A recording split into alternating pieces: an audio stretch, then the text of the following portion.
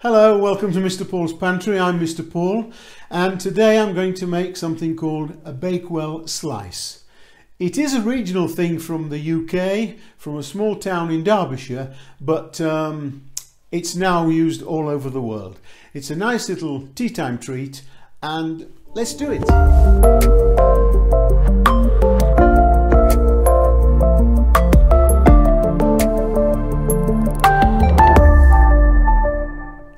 So for the pastry base, we're going to use a short crust pastry.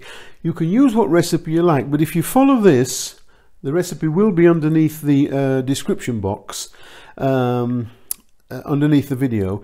If you make this amount, it will be just the right amount for the recipe. So we need 175 grams of plain flour. If you don't live in the UK or Europe, that's all-purpose flour not self-raising. You need 75 grams of butter and just 30 milliliters of water. Now I'll explain. As a professional baker, we weigh everything, including water. Water, milliliters and grams are exactly the same. So it's 175 of flour, 75 of butter, and 30 grams of cold water. Now I'm using unsalted butter here. That's all I've got today. So I'm going to add a pinch of salt. Okay? If you're using salted butter, you won't need to use the pinch of salt. So that's for the pastry. Let's get making it. So for this recipe, we're going to need 150 grams of sugar. Doesn't matter whether it's granulated or caster. 150 grams of ground almonds, 150 grams of butter. I use salted butter, you can use which you like, two eggs and 34 grams of plain flour, not self-raising. Right, let's get cooking. Right, we're going to make the pastry first. Just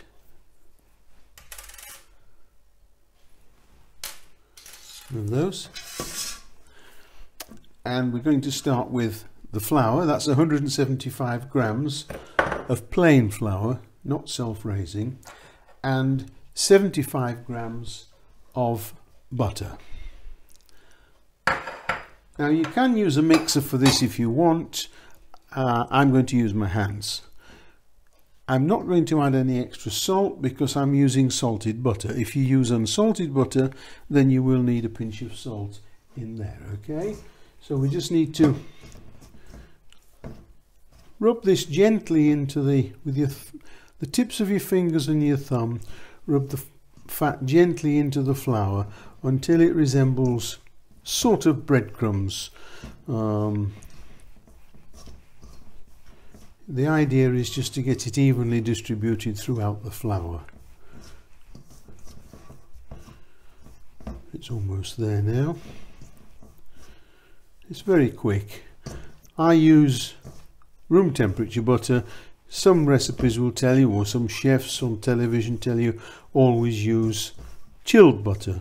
I've found it doesn't make any difference to me. So there we are. That's the sort of consistency we're looking for and we're going to now add some water. Now I've measured the water, I weigh everything. As a commercial baker we weigh everything including water. Mils and grams for water are exactly the same. I'm using 30 mils, 30 mils or 30 grams of water. So it's 175 of flour, 75 of butter and 30 of water. Now sometimes if your flour is very dry, in Spain where I am it gets very hot in the summer, sometimes the flour gets a bit drier. I need to add slightly bit more than 30 but we'll see how it goes today. And we just need to mix that now until it all comes together. Just like this first. And now we need to work that until it comes together. Just keep gently working it round and I think I might need to add a little bit more than the 30 here but we'll see you see how it's starting to come together now there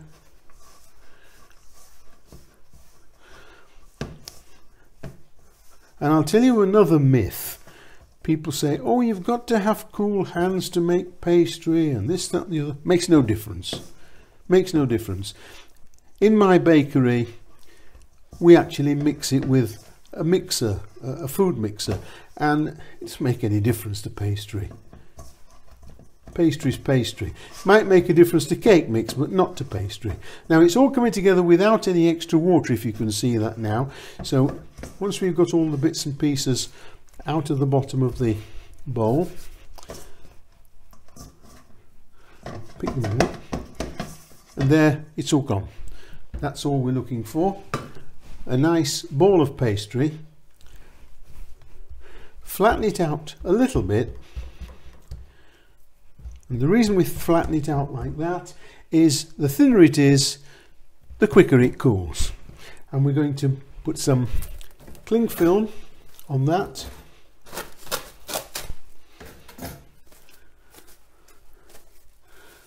And I'm going to pop that in the fridge now for about 30 minutes. Right, so we're going to make the base. This is the tin I'm going to use. The size is uh, 28 by 20 centimeters. Um, I'm using a non-stick one, but if you use an ordinary one, just put a piece of greaseproof paper or parchment in the bottom. Right? So let's, you know, this is the pastry that we've been cooling down for 30 minutes and start rolling it out. And we need to roll it to the size of the tin. So just roughly that size. Okay.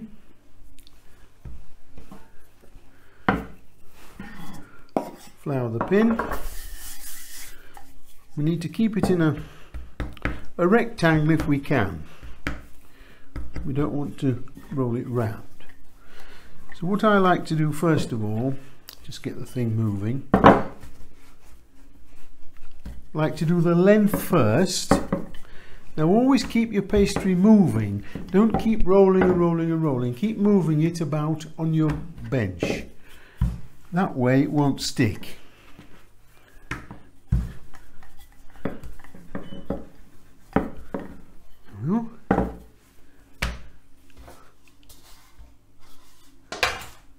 I've got the marks here, so I can see that's almost, almost to the correct length. So now we'll do the width.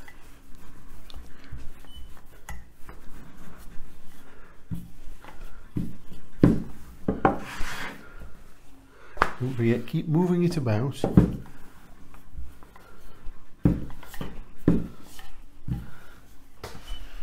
Try the tin. Yes, it's almost there. Almost there. Now what we need to do is to roll the pastry on the pin and then roll it back out onto the tin like that and now we're going to push the pastry down into the edge without breaking it if we can just gently into the corners.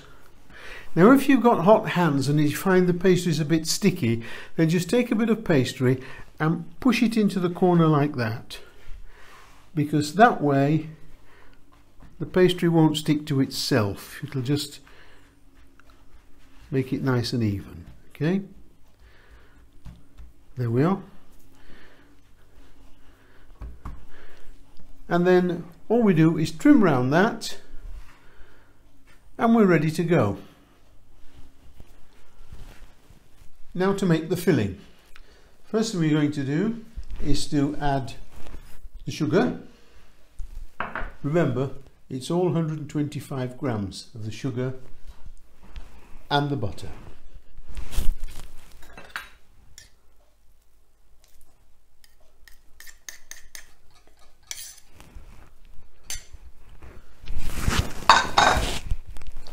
we're going to mix those, cream them together. You can use a hand electric mixer for this if you want. I don't find it's really worth worrying about. Once you get the butter to room temperature, it'll soon mix in all right. It's going quite nicely now.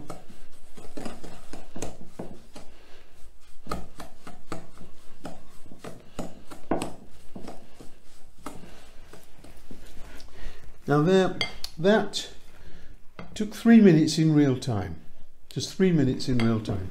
Now we're going to add to that one of the eggs and mix that in. Everything should be at room temperature. That way you won't get any curdling of your mixture.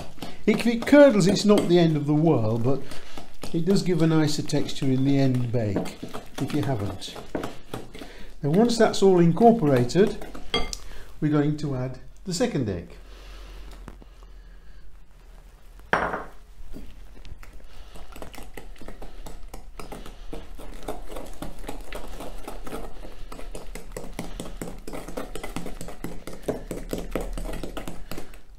See that's mixing in nicely.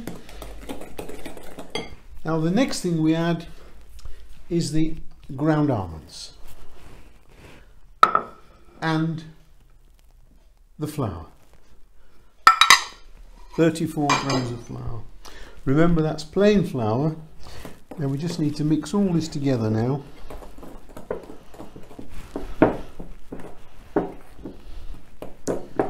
Make sure it's all incorporated.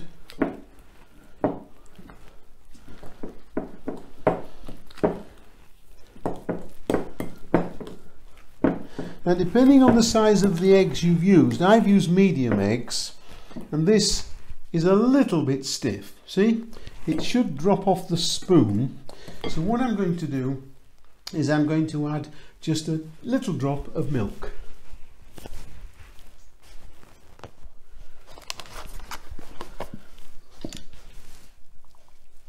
About probably a very scant tablespoon or probably a dessert spoon, there's not much gone in.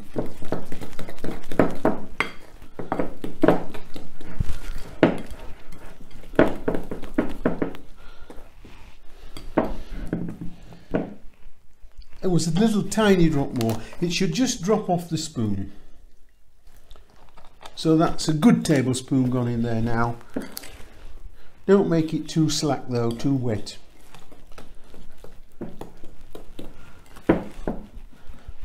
There you can see now the difference.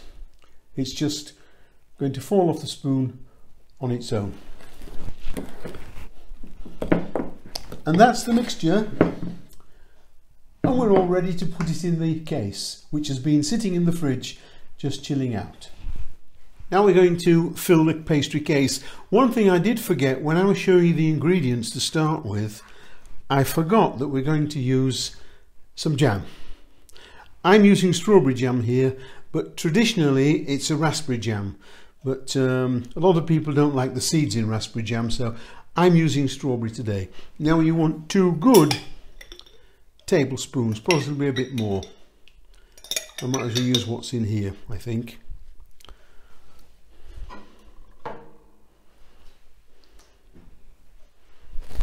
Spread that all over the base. Nice generous coating. Don't overcoat it because it'll only boil over if you if you do. Here we go.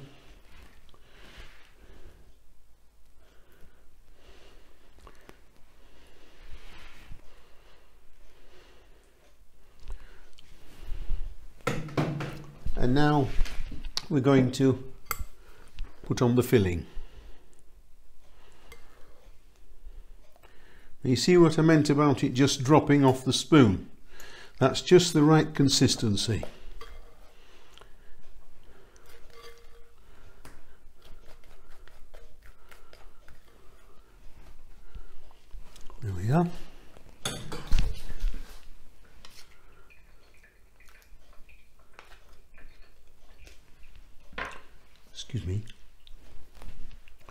Now we need to spread this to the edge. And what we try to do with this is so we can't see any jam between the filling and the pastry. Otherwise it will start to boil up and not look very nice on top.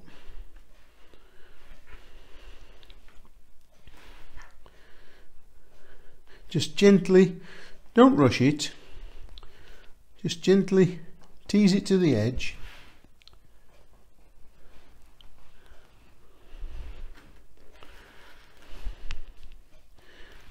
And there we have it.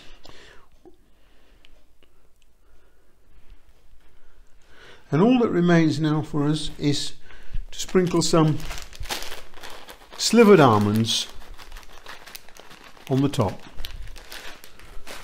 We don't need a lot just to make the top look a bit sometimes I use toasted almonds other times like today, I forget to toast them.